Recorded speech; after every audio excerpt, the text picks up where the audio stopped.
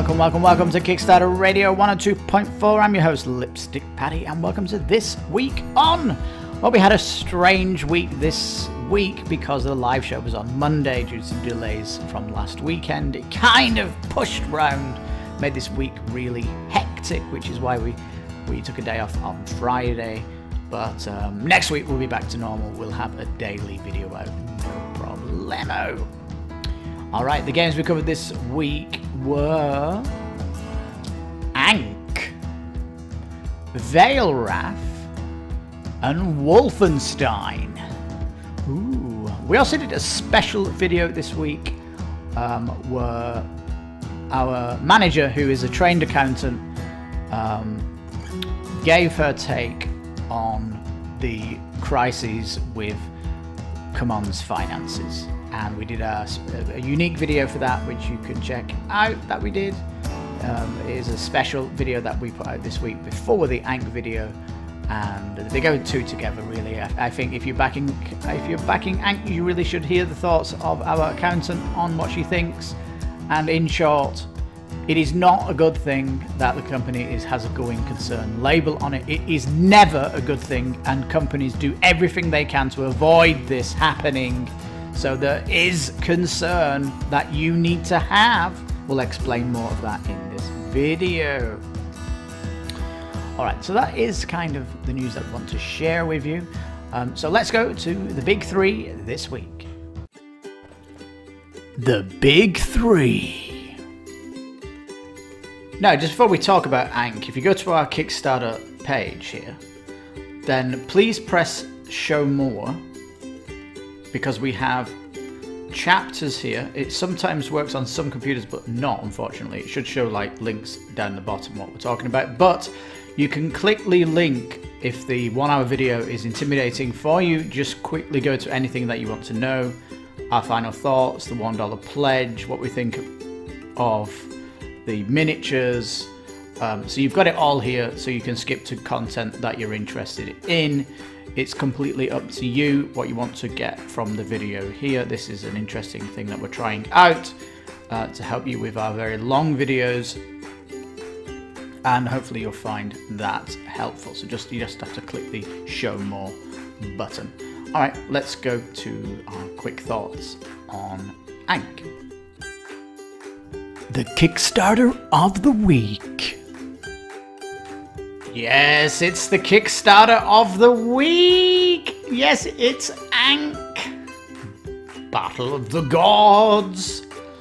Now, this Kickstarter is the first CMON game that has me looking at it fantastically. I love this Kickstarter. Firstly, um, they are allowing $1 pledges, which people keep saying, there's no letting $1 pledges, there's not, they're not doing it. They are. Look at the FAQ.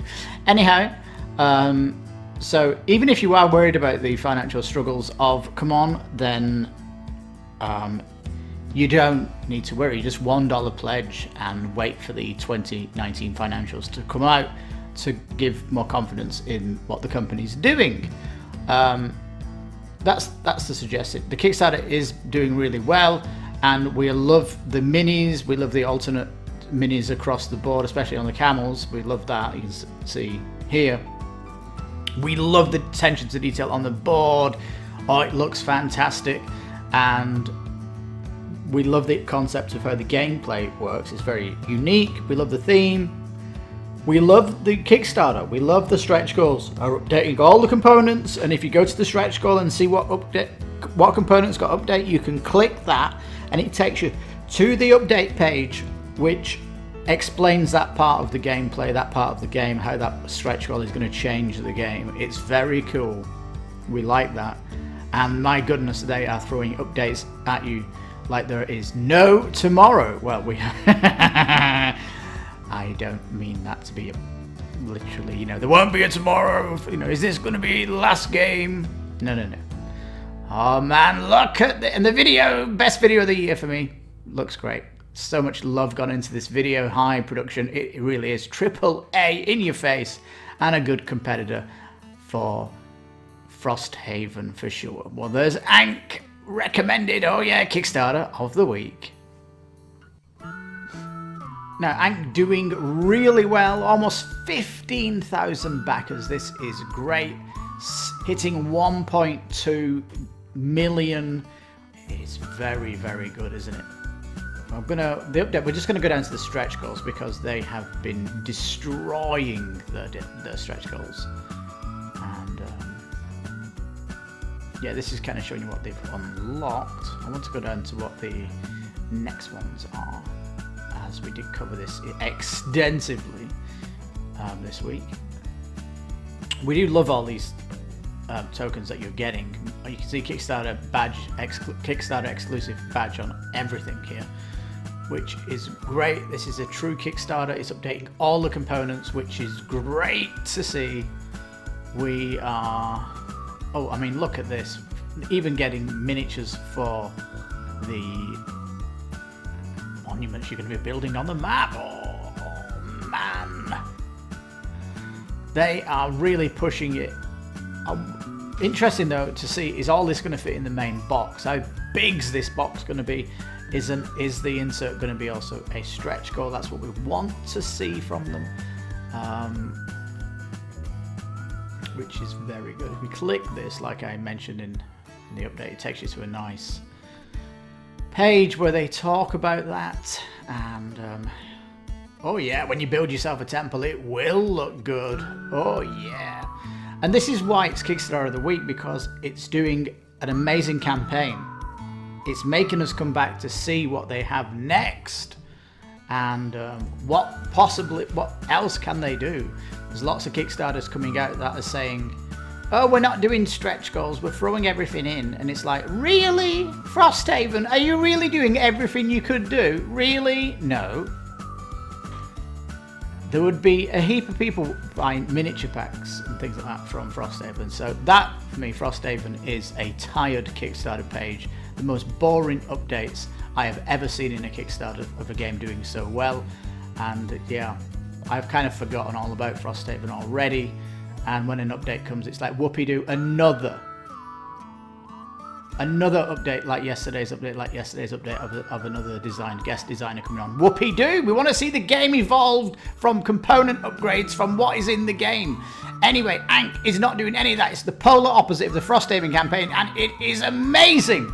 We highly recommend it. That's the update. Keep coming back to this one. It's great. And we've got it on reminders now because I don't want an email all the time from Ankh. Goodness gracious me, there's going to be a bunch. And uh, of course, we want to know if there's going to be an expansion or something. The commands tactic. Will we see something else come in the form of an expansion box? Well, nothing yet. We may see something in the next 16 days. We will keep you posted on Kickstarter Radio 102.4. Veilwraith is a fantasy quest game and it's um, a battle game and um, it's a solo game. You can play multiplayer, but you actually need more copies than one base game, which is, um, well, okay, if that's the case.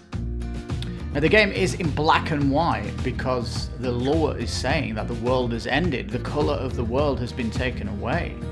And the, you are trying to bring the colour back. That's the goal of the campaign. Now the campaign is five vignettes long. They're calling it vignettes.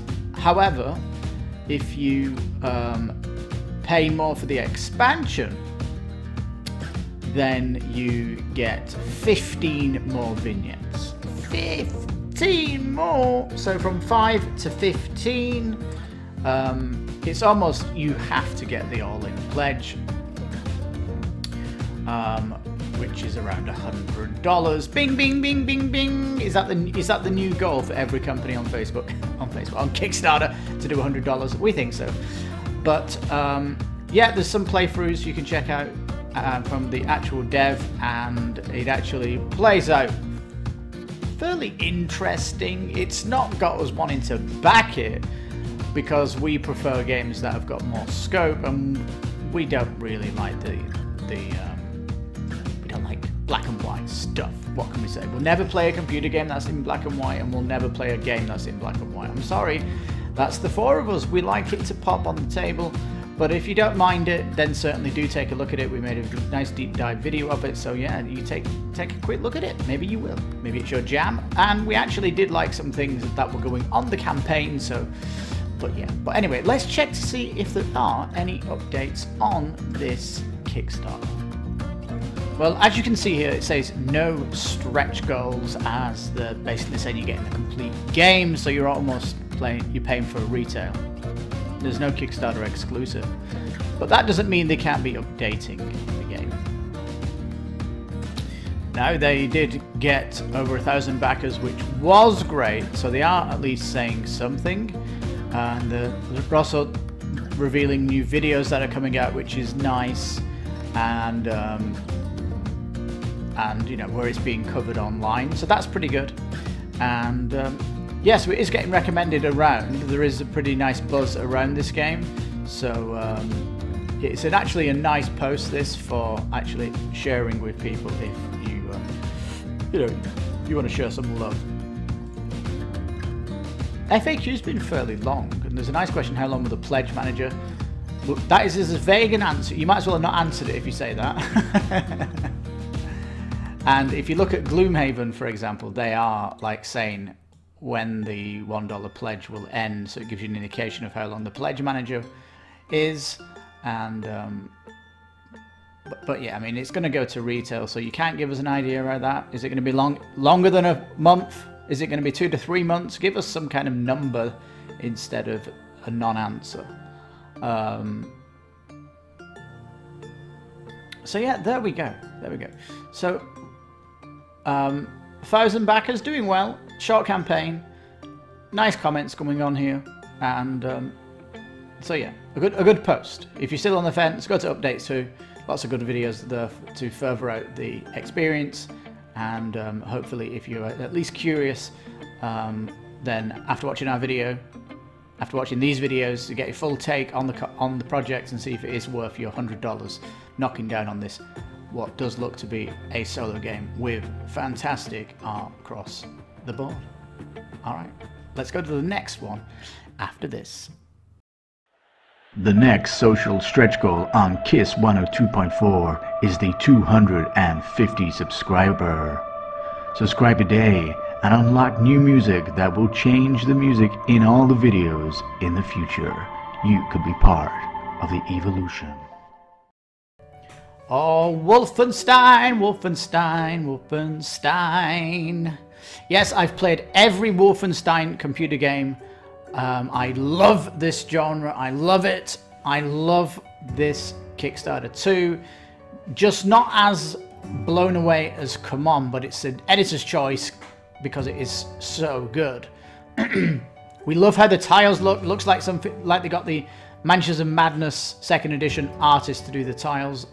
Top draw tiles. Look how beautiful they are. And I guess one thing that it did not get the Kickstarter of the Week is because of the lack of scenarios. We would have liked to have seen more, and um, potentially it could come out as an expansion during the campaign. Um, we'll just have to see. But yes, we want to see more, more, more, more content, please. More scenarios is what we want to see. Uh, juicy stretch goals also. Um, that have been unlocking. And otherwise, a solid title, fantastic alternate dungeon crawler, and alternate history, and tons of killing that you'll be doing in this game, just like the computer game. And um, what's different about the computer game is you can play this co-op, which is cool. And of course, you can play it solo. And um, yeah, it's a, a lot about it is sneaking around and not getting, not alerting the enemies because you get a ton more minis to deal with if that is your case. And they're doing this um, really strange um, sculptured terrain here, which kind of loses the art of the tiles. But other than that, really good, amazing. But let's have a look at the updates. Well, Wolfenstein's doing great. Look, over 3,000 backers. They're, advertising this. 15 stretch goals. Hey, funded in, funded in 20 minutes. We don't even care about that one. Anyway. Why the short campaign, Wolfenstein? Why? Why? Now, when we did the video of this, they contacted one of the devs, came in and said, if you do the $1 pledge, you do get the option to upgrade during the pledge manager. And I'm like, okay. And I think what he really meant to say is the All Stars expansion Kickstarter exclusive. That's what all the exclusives are going in the All Stars box. And you will be able to upgrade your account from the $1 to get the expansion Kickstarter box. So that just cleaning that up from our video. So it's silly all this information. They're giving too much information here. Just say no early bird, and um, you'll be able to upgrade your pledge in the pledge manager. I don't know why they, are talking about stretch goals here when clearly it's just going to be a box. Um, anyhow, there's more information on the spruces since we did the video. Let's go down. Here it is. Look at this. The miniatures. Oh, this is going to turn people off straight away. uh, not us though. We don't care about this. We used to make paper. Paper. We used to make plastic planes. Remember? In the 1980s, and they all came on spruces. No problem. And you can see how great the bases look here. Really good. Uh, and this means you can guarantee top quality from the minis. It is HIPS Plastic after all. Um, the Kickstarter exclusive early bird here he is for $10. Ouch. uh, stretch goals, they have been knocking it out of the park. We got the singing fat lady, um, which is cool linen upgrade on the maps. These plastic bows, look at these. Oh, yes. Yes, yes, yes. They look phenomenal, don't they? Oh man, that is a dream to have for your for your player board. More content is unlocking, which is good to see. Getting some objectives on the map. See A, B, C, D on these. They are different. Um, you could even paint these a little bit different. I'm saying paint because it's spruced. It's coming spruced. You're going to be painting this up. You're going to be painting it.